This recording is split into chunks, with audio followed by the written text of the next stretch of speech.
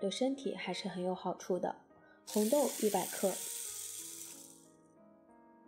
小米五十克，各用清水浸泡过夜。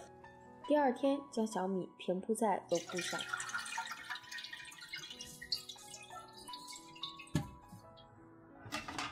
红豆加水一起上锅蒸三十分钟。准备红糖一百克，倒入二百五十克清水，搅拌均匀。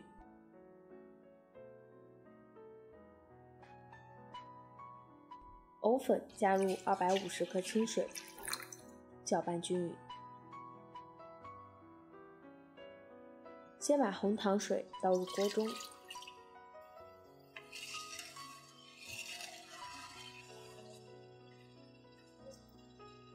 煮到红糖完全融化，再将藕粉分三次加入，搅拌均匀。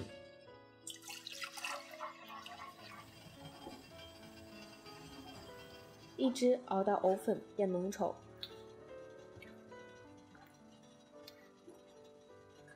蒸好的小米倒在碗中，加入三分之一的藕粉，搅拌均匀。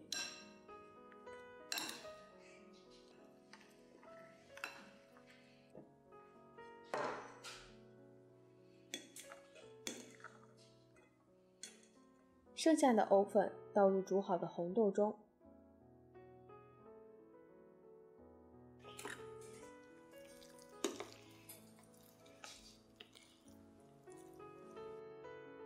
找一个模具，刷一层油防粘。把小米平铺在下面，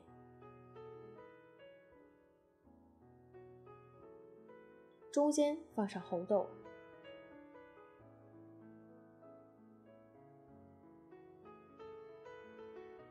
最后再铺一层小米，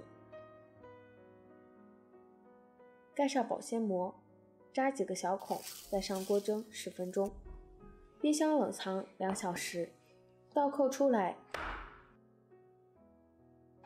再切成小块即可食用。